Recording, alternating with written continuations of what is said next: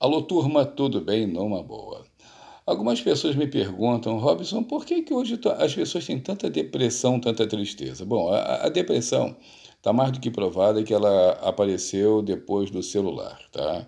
Depois de redes sociais.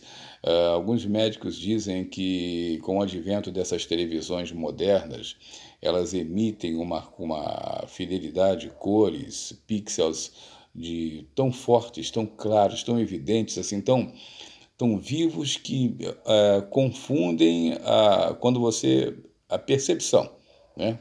E muitos acham que a, o celular também, em grande quantidade, ele processa informações que o nosso cérebro não está preparado para receber né? no, nos dias de hoje. E também o fato que o celular, as redes sociais separaram as pessoas da família, da natureza.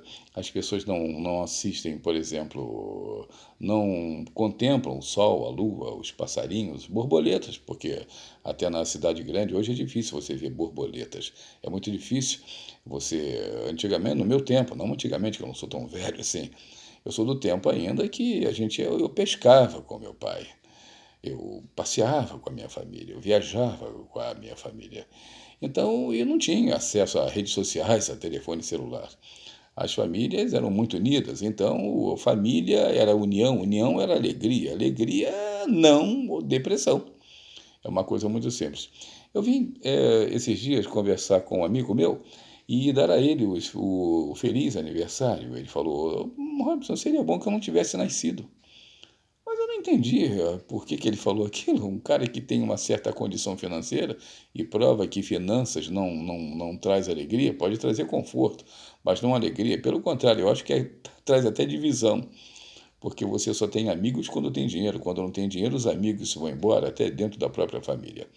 Saúde perfeita, ele tem um cara bem casado, um cara muito bem estruturado na vida mas ele me perguntou por que, que ele é tão triste. Eu falei, o cara ele falou, Robson, você fala tanto em Deus, fala tanto nas coisas boas da vida, por que, que eu sou tão eu não consigo ser feliz?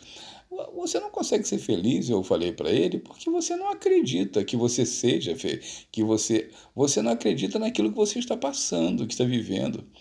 Poxa, eu conheço pessoas que mutiladas, que perderam parte de um corpo, do, do corpo. Eu conheço pessoas que têm que o médico, esses médicos aí que gostam de dar prazos de, do dia, de, de vida para a pessoa, as pessoas aí, quando recebem uma, uma, um diagnóstico grave, eles vão é passear, viver a vida, passear de moto, via, conhecer um país e, e o médico deu um, um ano de vida, o cara já está vivendo 15. Por quê? Porque depois que ele cismou que ele não pode resolver nada, ele não é ele que resolve. Eu assisti uma, uma frase esses dias aí, uma coisa incrível. O cara, uma pessoa falou: aceita que dói menos. Está errado? Não está, não.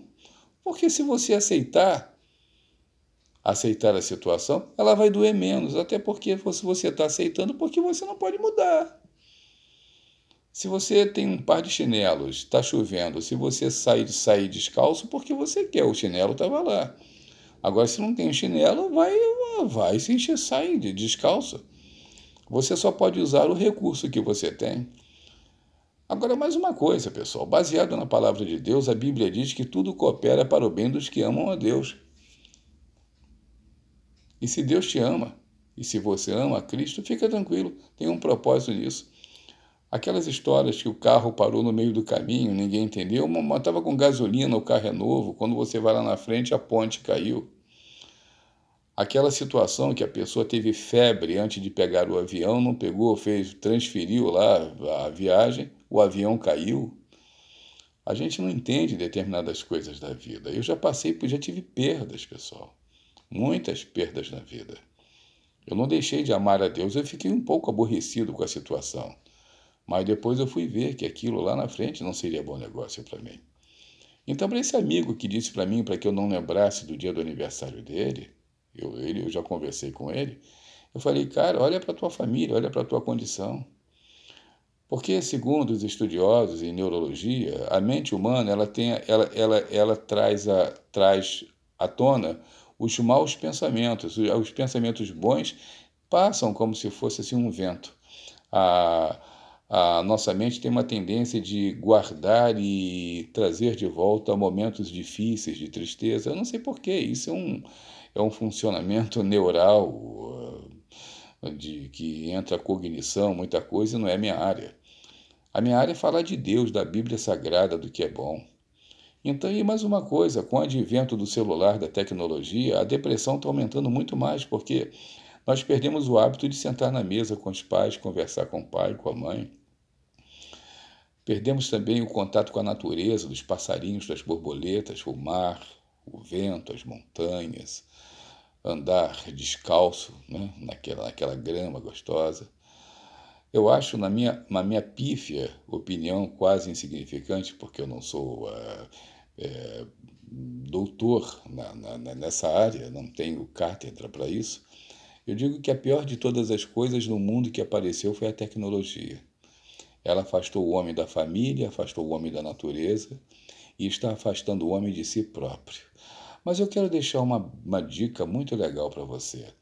A neurociência concorda com a Bíblia quando ela diz que 95, 85% do que a gente pensa das nossas catástrofes, elas não acontecerão. Portanto, não sofre, não sofra por antecedência.